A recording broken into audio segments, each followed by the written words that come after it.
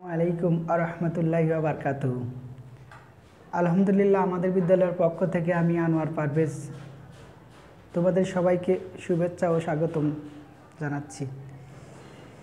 আমি আজকে এখন এই মুহূর্তে একটা ভিডিও বানাইতে চাচ্ছি, সেটা হচ্ছে ছোটদের জন্য প্রাইমারি লেভেলের জন্য।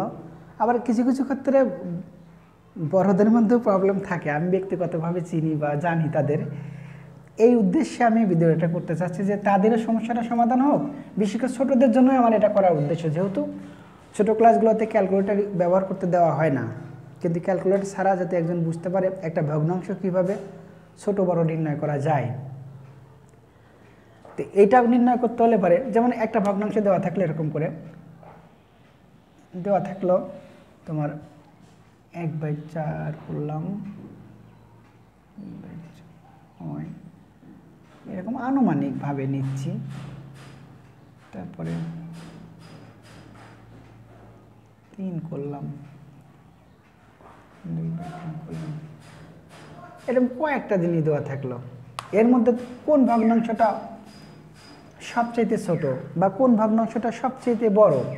আমি তখন কি করব? তখন এটার নিয়ম হচ্ছে, একটা ভগ্নাংশের হর অপর ভগ্নাংশের লবের সাথে গুণ করব। যেটাকে লবের সাথে গুণ করব, সেই জায়গাটা লিখে রাখব অত মনে মনে রেখে দেব। করে হর এবং লবের গুণফলের মাধ্যমে যে ভগ্নাংশের লব এর সাথে গুণ করে বড় হয়ে গেছে, লবে সেটা বড় হলে সেই সংখ্যাটা, সেই ভগ্নাংশটাও বড় হবে। তার আগে বলে রাখি, আসলে ভগ্নাংশই বা কি? ভগ্নাংশ হচ্ছে একটা যে সকল সংখ্যা হর এবং লব সম্মিলিত, অর্থাৎ যে সংখ্যায় হর এবং লব থাকবে। এখন হর ই বা কি লব ই বা কি? আমার ব্যক্তিগতভাবে আমি জানি, আমার, আমাদের, আমার স্যার গল্প করতো যে এক ব্যক্তির নাম মানে আমাদের মনে রাখার জন্য, এক ব্যক্তির নাম হচ্ছে হরি, বেচারা হিন্দু মানুষ, আর লরি হচ্ছে এক ধরনের বড় ট্রাক, লম্বা জাতীয় মালামাল, বিশেষ করে এগুলোতে ই করে। লরিতে, ট্রাক বা লরিতে তো মালামালই করে, যদিও বহন করা হয় এটাতে, পরিবহন করার ক্ষেত্রে, মালামাল পরিবহন ক্ষেত্রে ব্যবহার করা হয়। তে, এই হরি এই বেটা বাজারে যাচ্ছে তা লরি এর উপর দিয়ে চলে গেল। তাহলে কি হলো?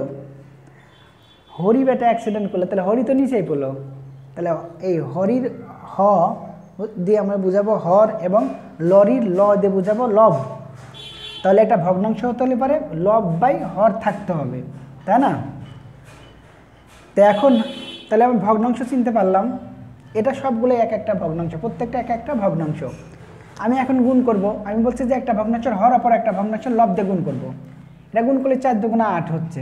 আর এটা গুণ করলে ছয় একে ছয় হচ্ছে। ছয় বড় না আট বড় অবশ্যই আট বড় তাহলে আমি যেহেতু সবচেয়ে বড় সংখ্যা গঠন করতে, বের করব, নির্বাচন করতেছি, তার জন্য আমি এটাকে এটা দেবো যে এটা আমার না। এটা বাদ করে দিলাম ছোট। আবার এই এই দুটার সাথে তুলনা করব যে চার দুগুণা আট আচ্ছা ঠিক আছে। তিন ছয় আঠারো, এটা আঠারো হয়ে গেল। দেখছি, এটা গুণ করলে আট হচ্ছে, এটা করলে আঠারো হচ্ছে, তার মানে কি? এটা বাদ হয়ে গেলো, এটাই বড় হয়ে গেল।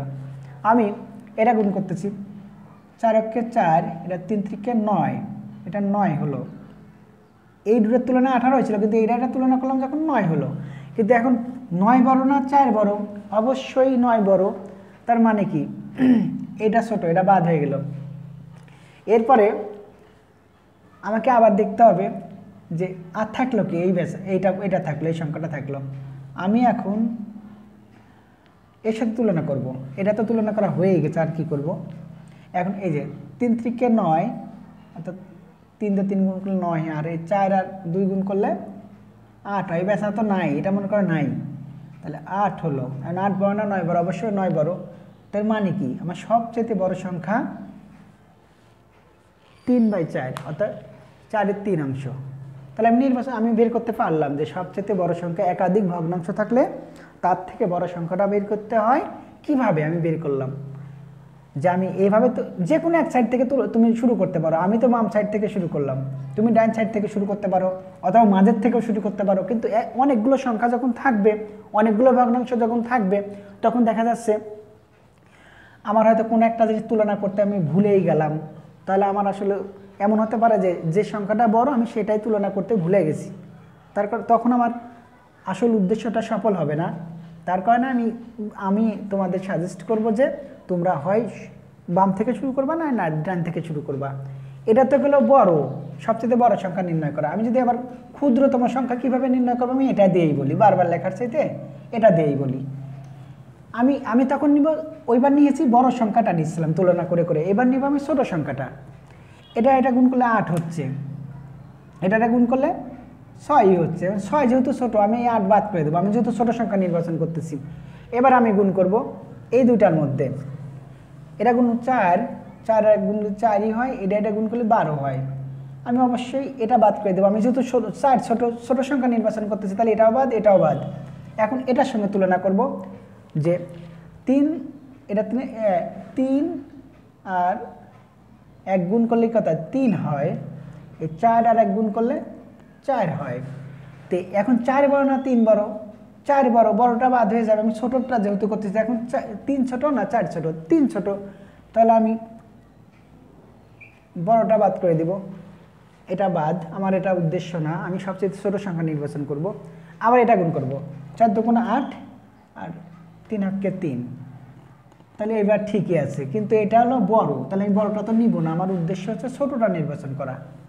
এইভাবে আমরা অনেকগুলো সংখ্যার মধ্য থেকে কোন সংখ্যাটা ছোট আর কোনটা বড় নির্বাচন করতে পারব। আবার আমাকে যদি বলা হয় যে সংখ্যাগুলো সাজাও, ছোটো থেকে বড়, আমি এভাবেই করতে পারি। প্রথমে সবচেয়ে ছোটটা বের করব, তারপরে এটা বাদ করে রেখে রেখে দিলাম। পরে এইগুলোর মধ্যে আবার তুলনা করব অনুরূপভাবে। তার সাথে সবচেয়ে ছোটো এইগুলোর মধ্যে সেটা নিলাম।